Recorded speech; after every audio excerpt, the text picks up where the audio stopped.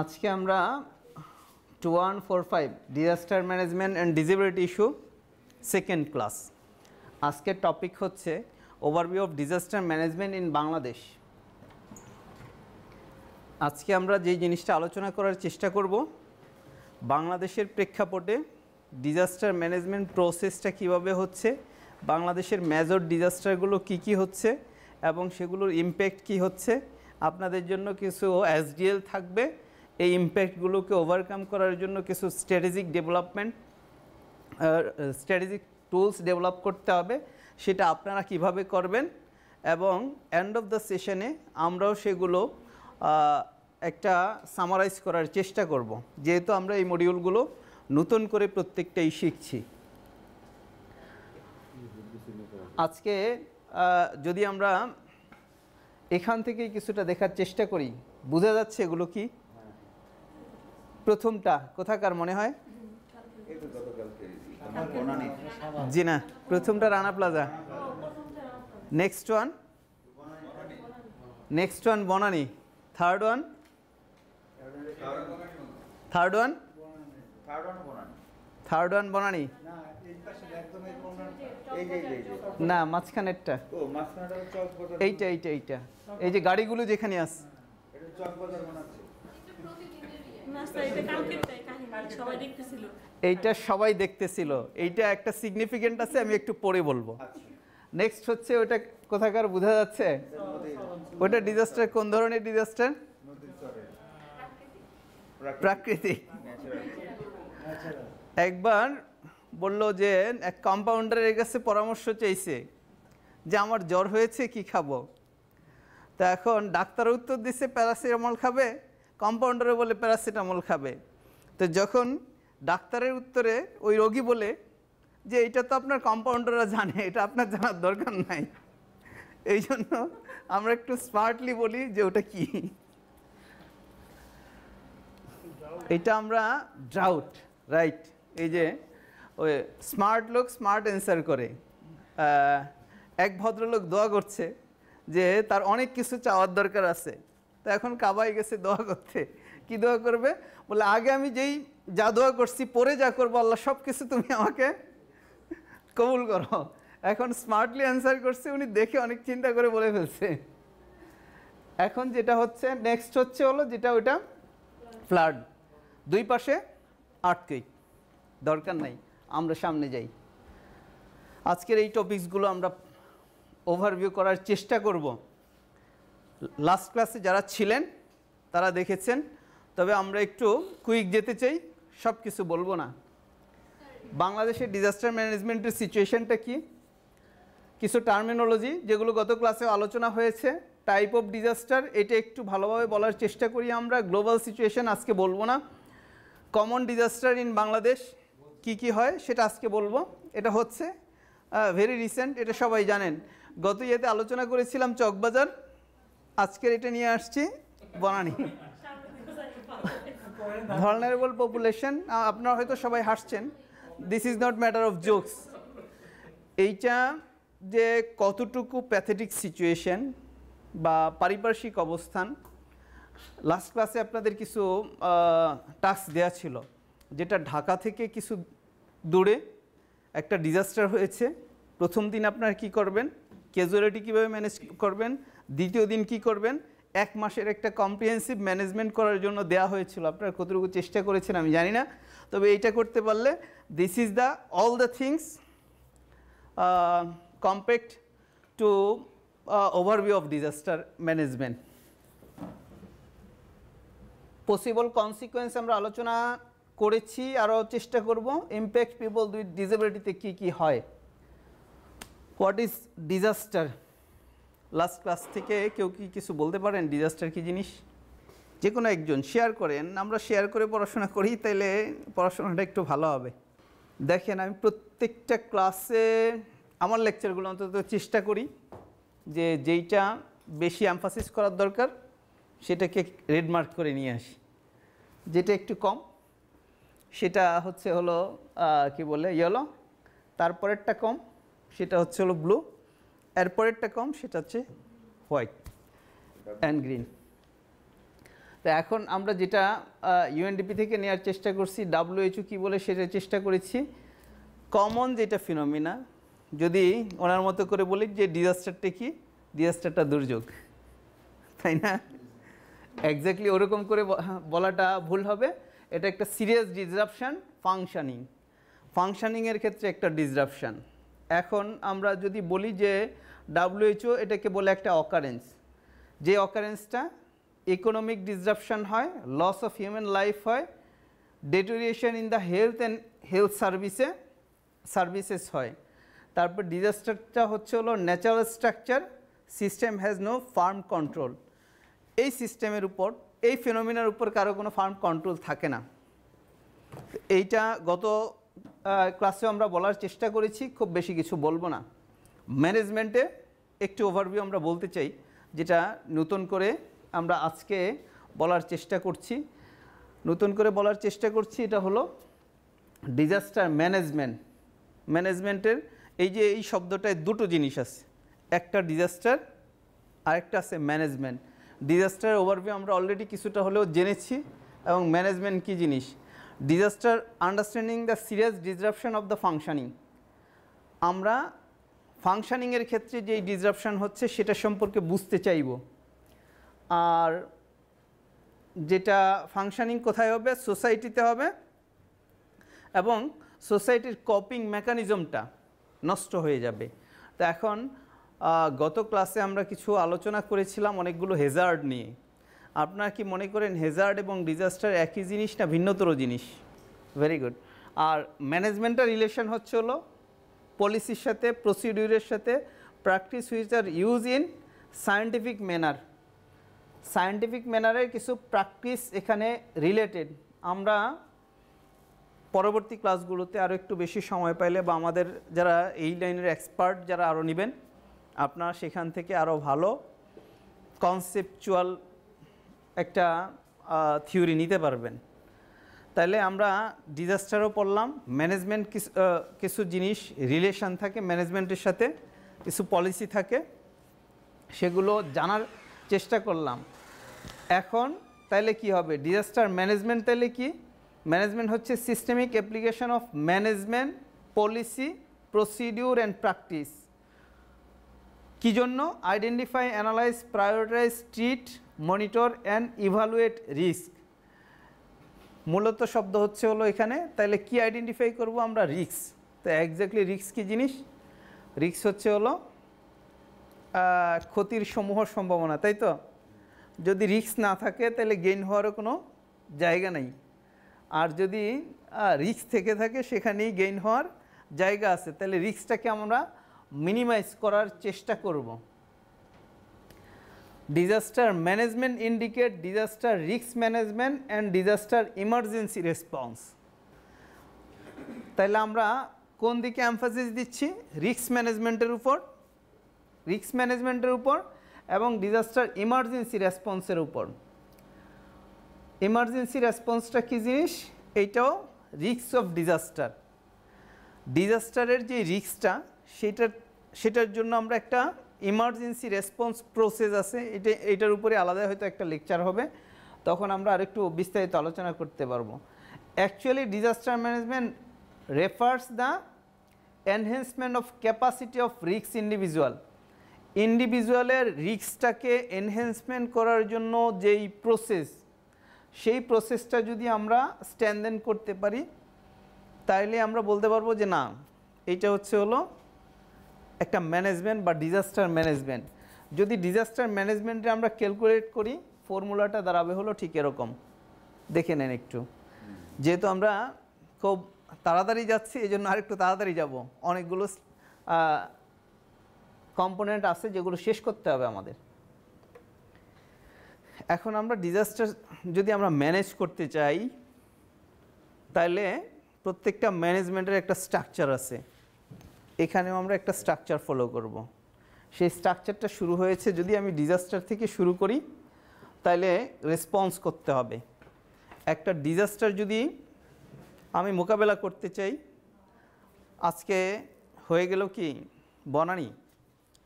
বনানি যখন ডিজাস্টার শুরু হলো, কি হলো? রেসপন্স হয়েছে। কতক্ষণ পরে হয়েছে? কয় ঘণ্টা? আধা ঘণ্টা, কেউ কেউ বলে দু ঘণ্টা পরে হয়েছে।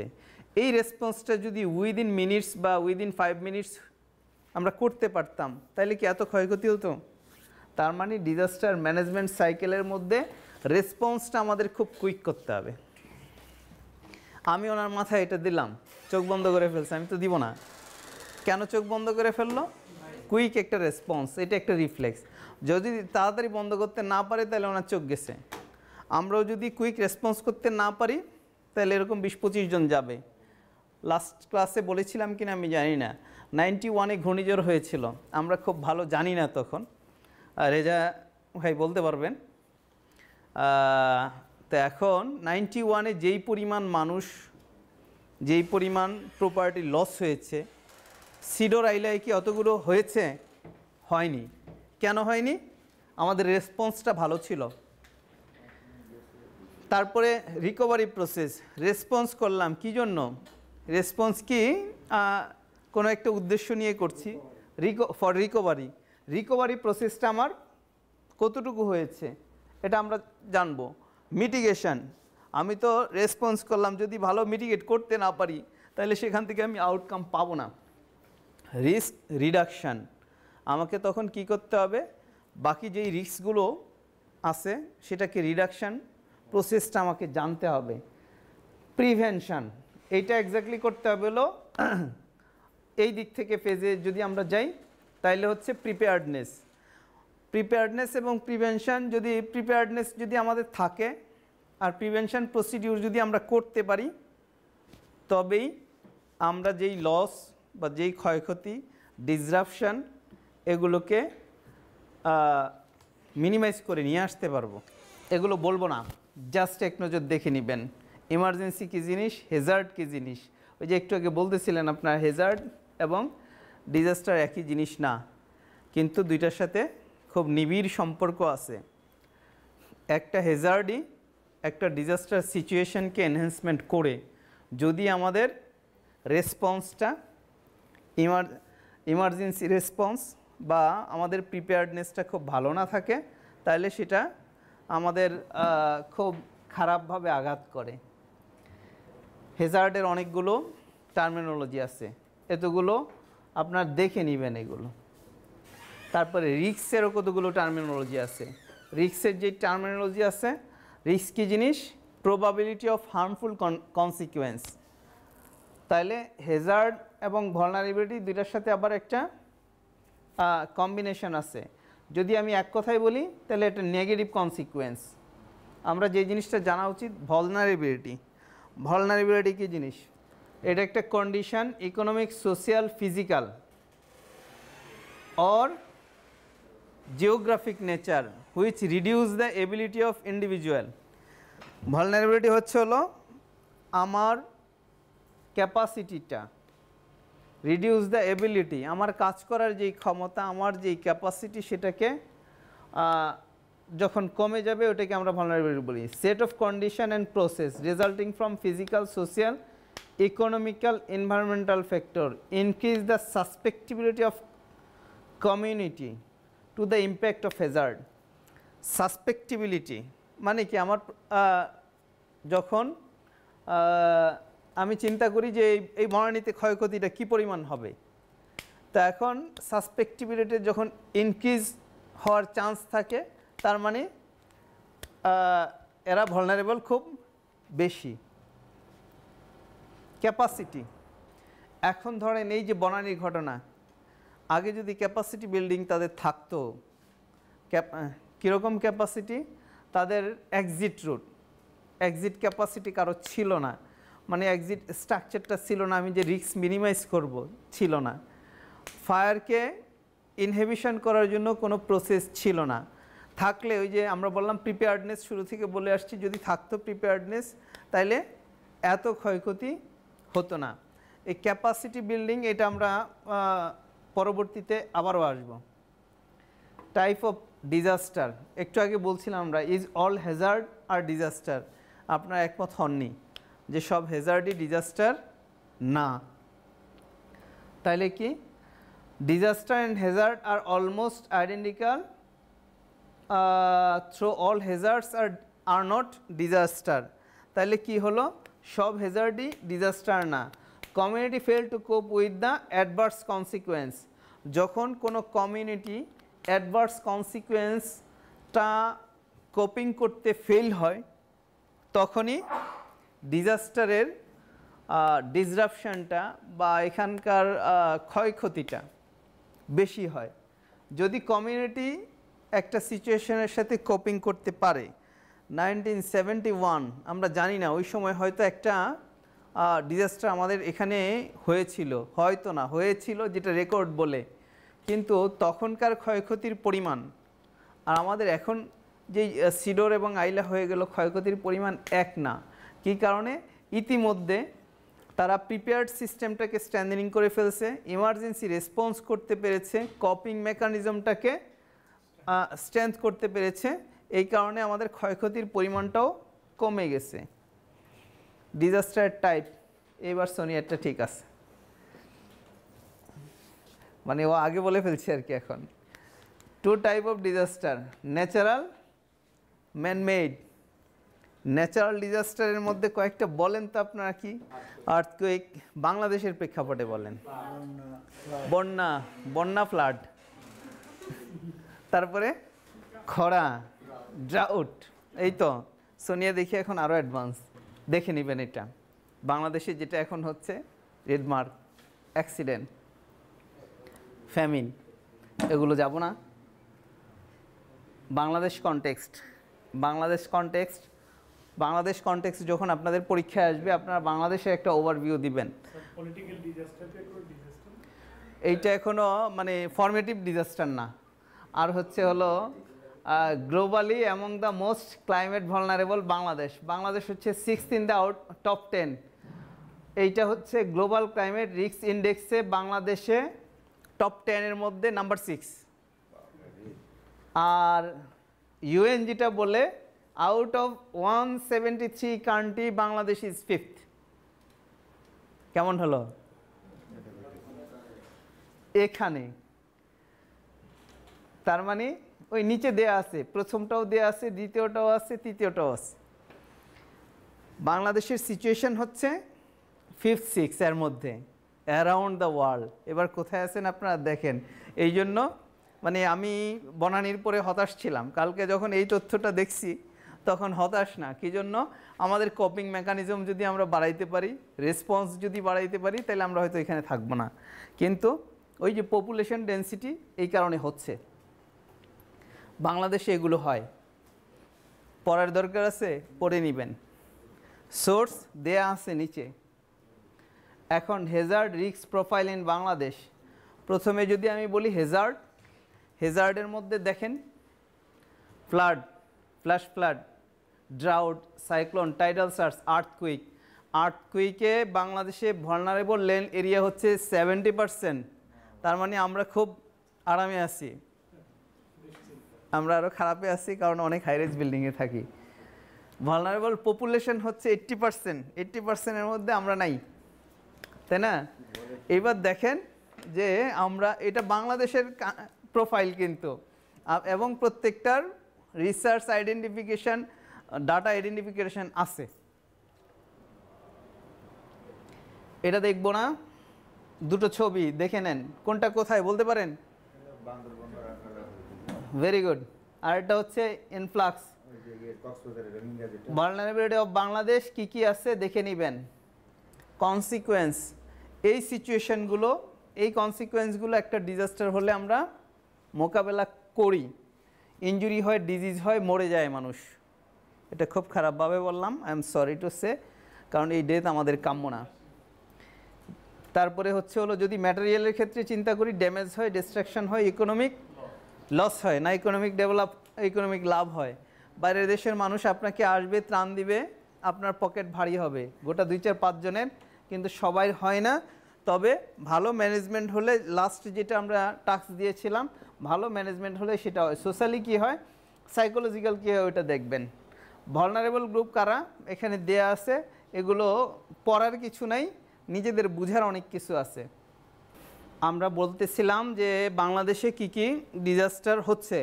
নেক্সট ফ্লাড সিচুয়েশন যদি আমরা বাংলাদেশে দেখি ফ্লাডের একটা ওভারভিউ দেয়া আছে। নাইনটিন সেভেন্টি ফোরে কী অবস্থা ছিল? আর টু থাউজেন্ড ফোরে ফোরে কী অবস্থা ছিল? এই সোর্স থেকে এই ডাটাগুলো নেওয়া হয়েছে। এখন আমরা যেটা জানতে চাই যে Bangladesh suffer from increasingly frequent and devastating natural climate কী কী কারণে হয়? জিওগ্রাফিক্যাল লোকেশনের কারণে হয়, এগুলো দেখে নেবেন। নেক্সট হচ্ছে আমরা জানতে চাই, খুব শর্টে যে ফ্লাড কয়টা টাইপের হয়? প্রত্যেকটা টাইপের উপর লেখা আছে যে কোন ফ্লাডটার ডেফিনেশন কীরকম করে। এবং প্রত্যেকটা ফ্লাডের আলাদা করে ছবি দেওয়ার আমি চেষ্টা করছি, যেটা মনে রাখা সহজ। ঠিক কিনা? যাব পিছনে, সামনে। এখন আপনাদেরকে যেটা করতে হবে list out the impact of flood and make a strategic plan for disability and development perspective S মানে কি? Self directed learning Sidr Aila and storm surge এগুলোর উপর বেস করে ইম্প্যাক্টের উপর আপনার একটা স্ট্র্যাটেজিক ডেভেলপমেন্ট তৈরি করবেন। কারও যদি কোনো প্রশ্ন থেকে থাকে, কেউ করতে পারেন। যদি প্রশ্ন না থেকে থাকে আপনাদের সবাইকে অ্যাটেনশন দেওয়ার জন্য আন্তরিক ধন্যবাদ আজকের মতো এখানেই, আল্লাহ হাফেজ থ্যাংক ইউ ভেরি much.